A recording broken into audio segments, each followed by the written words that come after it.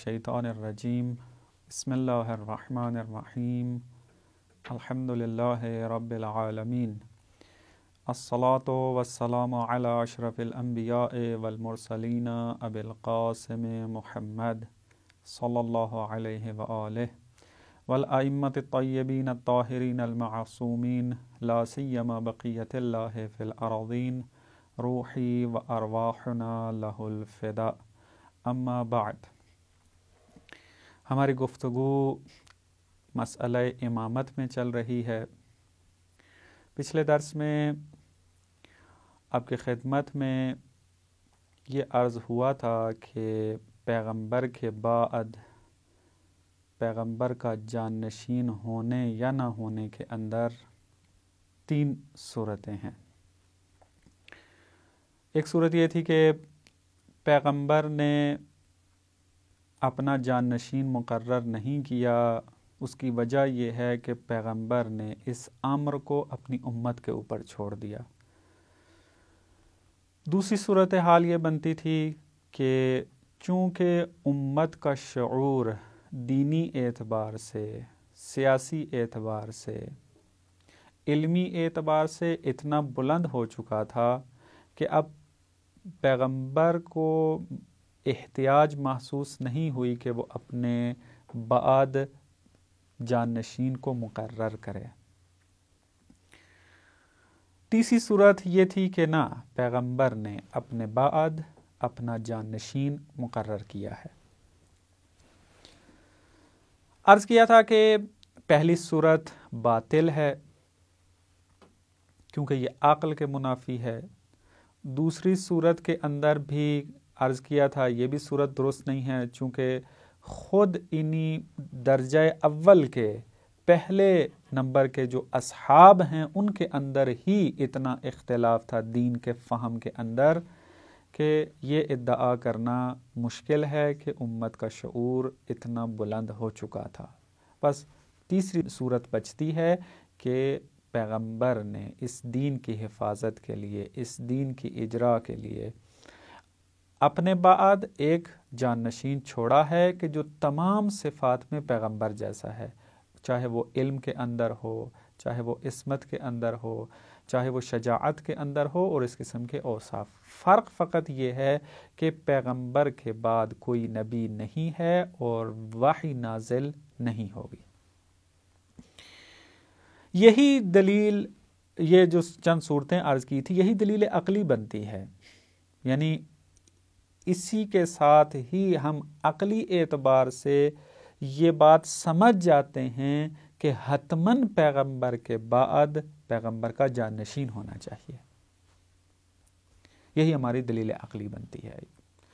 اسی دلیل عقلی کو ایک دوسرے انداز میں میں امام صادق علیہ السلام کے ایک صحابی حشام ابن حکم کے مناظرے سے استفادہ کرتے ہوئے دلیل عقلی کو ذکر کرتا ہوں کہ جو حشام ابن حکم نے دلیل عقلی دی ہے امامت کے اس بات پر۔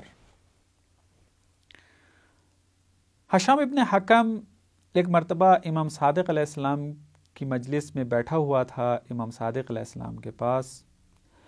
امام متوجہ ہوئے حشام بن حکم کی طرف اور کہا کہ عامر ابن عبید معتزلی اور تمہارے درمیان جو گفتگو ہوئی ہے، جو مناظرہ ہوا ہے، اس کے بارے میں ہمیں خبر دو۔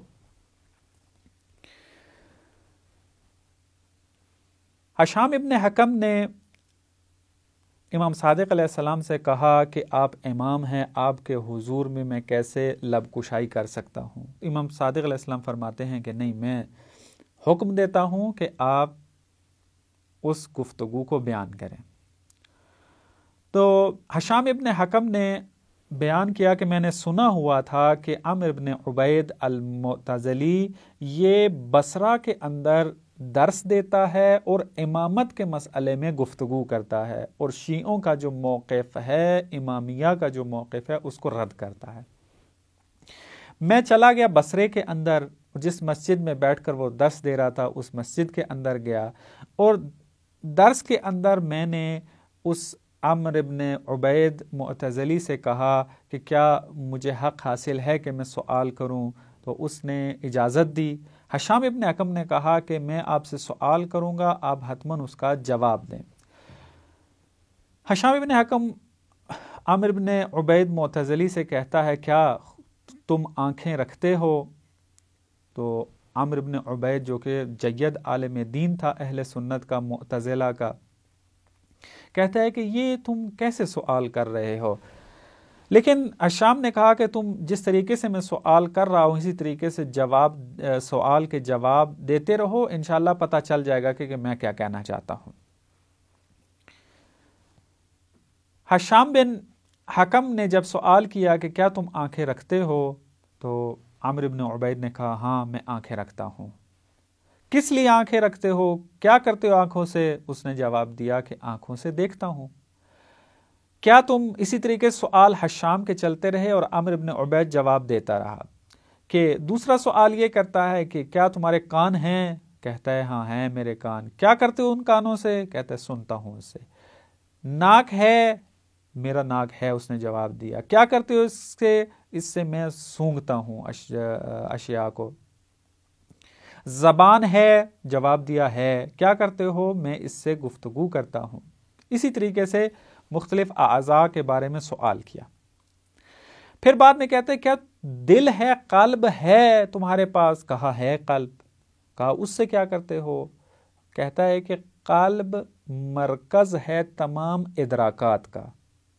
یعنی آنکھ جب ایک چیز کو درک کرتی ہے، دیکھتی ہے، تو یہ درک قلب کے پاس جاتا ہے۔ یعنی مرکز ہے تمام ادراکات کا قلب و دل۔ سوال کرتا ہے کہ اس دل کا کام کیا ہے؟ کیونکہ آنکھ دیکھتی ہے، ناک سونگتا ہے، کان سے سنا جاتا ہے، تمام اعضاء اپنے افعال انجام دیتے ہیں۔ تو اگر دل نہ ہو، قلب نہ ہو، تو مشکل پیش نہیں آنی چاہیے۔ تو اس قلب کی کیا ضرورت ہے؟ تو عامر بن عبید کہتا ہے، اس قلب کی انتہائی ضرورت ہے۔ کیوں؟ اس وجہ سے کہ آنکھ مثلاً اگر کسی چیز کو درک کرتی ہے اور اس کے اندر شک و تردید کے اندر آ جائے، تو اس شک اور تردید کو دور کرنے کے لیے خدا نے قلب کو قرار دیا ہے۔ قلب فیصلہ کرتا ہے کہ آنکھ نے جو دیکھا ہے وہ درست ہے یا درست نہیں ہے۔ اسی طریقے سے سونگنے کے اندر، اسی طریقے سے سننے کے اندر تمام اعضاء کے اندر اسی طریقے سے ہے۔ یعنی بس عمر ابن عبید نے جواب یہ دیا کہ دل مرکز ہے تمام ادراکات کا، اور یہ شک اور تردید کو ختم کرتا ہے جو قوا کے اندر تردید ایجاد ہوتی ہے۔ آنکھ کے اندر مثلا آنکھ جب دیکھتی ہے، اس کے اندر اگر تردید ایجاد ہو جائے، ناک کے سونگنے میں اگر تردید ایجاد ہو جائے تو قلب اس کا شک دور کرتا ہے۔ تو حشام ابن حکم نے کہا کہ دیکھو خدا وند متعال نے تمہاری اور یا اس انسان کی اس چھوٹی سی کائنات اور خلقت کے اندر ایک ایسا مرکز قرار دیا ہے کہ جو شک اور تردید کو دور کرے، جو کنٹرول کرے تمام اعضاء کو۔ اس چھوٹی سی کائنات میں تو ایک مرکز و امام قرار دیا ہے۔ آیا عقل تسلیم کرتی ہے اس بات کو کہ اتنی بڑی کائنات موجود ہو خدا وند متعال کی اور خدا یا خدا کا پیغمبر کہ جو خدا کے ساتھ متصل ہے وحی کے ذریعے، وہ اپنی اس کائنات کو، اپنی اس امت کو بغیر امام و جانشین کے چھوڑ دے۔ یہ سننا تھا کہ امر ابن عبید معتزلی خاموش ہو گیا، سکوت اختیار کر لیا اس نے۔ اور تھوڑی دیر کے بعد پوچھتا ہے، کیا تم حشام ابن حکم تو نہیں ہو؟ تو اس کے بعد یہ جلسہ آگے چلا۔ میرا جو مد نظر تھا مطلب بیان کرنا، وہ یہی تھا کہ دلی عقل بھی اس بات کا اقتضا کرتی ہے کہ حتمن اس کائنات کے اندر ایک امام ہونا چاہیے کہ جو اس کائنات کو، اس امت کو مدیریت کرے۔ تو کیسے ہو سکتا ہے کہ خدا یا پیغمبر جو رئیس العقلاء ہیں، وہ کیسے اس کائنات کو بغیر امام کے ترک کر سکتے ہیں؟ بس دلیل عقلی کے ذریعے ثابت ہو جاتا ہے کہ امام کا ہونا ضروری ہے۔ انشاءاللہ باقی گفتگو اور دلیلیں بعد والے درس میں عرض ہوں گی۔ والسلام علیکم ورحمۃ اللہ وبرکاتہ۔